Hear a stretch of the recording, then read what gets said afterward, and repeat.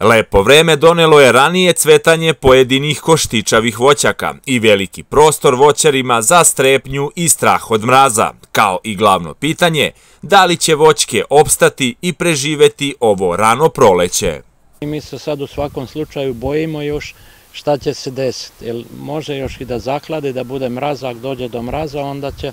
taj voćna kompletno biti uništen, ne samo naš, nego i svi ostali i breske koje imaju u slankamenu i i trešnje i tako dalje, ima razne zasada, šljive i, i sve ostale sorte bi mogle biti ugrožene. Da se klima poremetila, odnosno promenila, pravi primjer su između ostalog i voćnjaci, tačnije kajsija, koja je procvetala čak par nedelja ranije ili pre svog roka. Kajsije su, ima više sorti, ima rani sorti, kasni sorti, ovo što je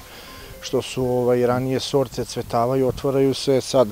postoji mogućnost ovaj, od nekog mraza, kad dođe mraz da to sve onako ovaj,